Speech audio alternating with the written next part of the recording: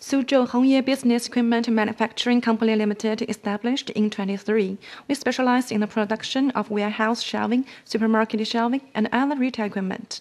We supply buyers in France, the UK, Germany, Spain, and other Western countries.